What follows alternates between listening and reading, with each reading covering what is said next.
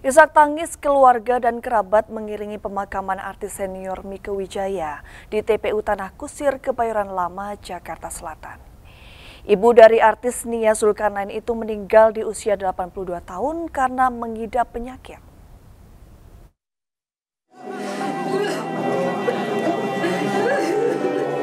Nia Zulkarnain tak kuasa menahan air matanya saat proses pemakaman sang ibu dimulai. Di antara sejumlah keluarga, kerabat, dan rekan sesama artis, jenazah Mika Wijaya dibawa ke TPU Tanah Kusir, Kebayoran Lama, Jakarta Selatan. Proses pemakaman artis senior ini pun berlangsung haru dan hikmat. Isak tangis keluarga dan kerabat pecah saat almarhum dimasukkan ke liang lahat.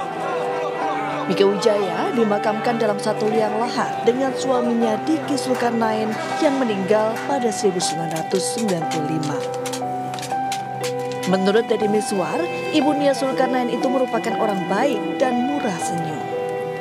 Hangat ya, kalau ketemu selalu hangat, selalu tersenyum. Saya nggak pernah lihat dia marah kayaknya.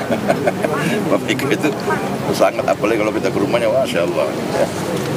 Setiap kali ketemu selalu senyum senyum menjadi ibadah. Ya.